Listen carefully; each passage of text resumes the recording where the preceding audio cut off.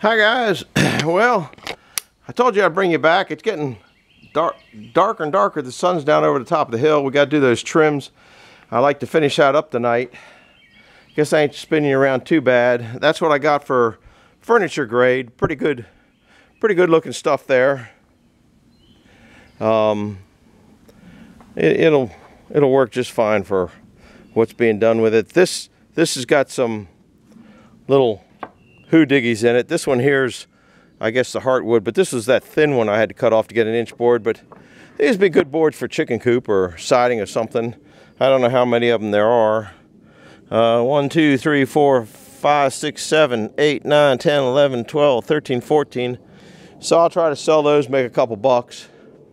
So I'm going to trim these. I'm going to trim that nice one that you see up there into two pieces. And um, what I'll do that after I get those two pieces, I'll have one on this side and one on that side.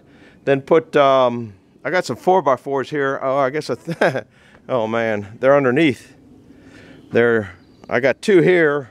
I might have to go uh, scrounge another one up so I can have two layers. So, um, but I want to get those covered up. So that's what my goal is. So put your ears back on because we're about ready to I think I'll put you right about here. Then I can throw some of the trims.